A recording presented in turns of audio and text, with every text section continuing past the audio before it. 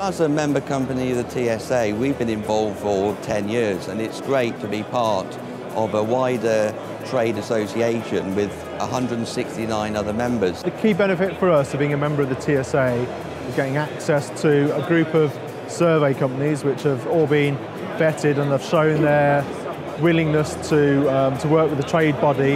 It offers a fantastic information resource on the website. We can download guidelines, advice. As a growing company, I think that we've benefited from the support line help that you can get through the TSA for help with human resources issues um, and also one of the other benefits I think is being able to procure um, favourable rates with having um, contacts within the insurance industry for instance which obviously is very important. It's been really important to, to me in the business um, because it's been part of a community that represents a profession and uh, can, can be a voice in the industry. I think the strength in numbers and being part of the TSA uh, we can collaborate on ideas, we can keep up to date with industry. It's also backed up now with a sort of formalised training school, so it means that the, um, the newcomers to the industry can be provided with good quality education and training in the surveying sector. It's, uh, it's very good for us to take some of our new products down to the training school and get feedback from, uh, from the students there. I was told just to get involved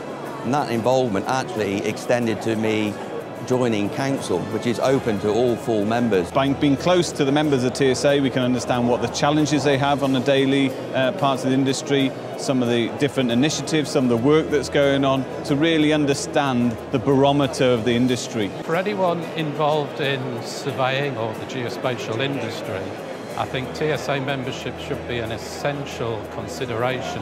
When we get to sort of play a part with the committees and, and, the, and TSA, we feel like we're contributing to the industry and helping sort of raise standards and, and make, make our whole industry a little bit better. It's better to be involved and the more you put in, the more you get out of TSA.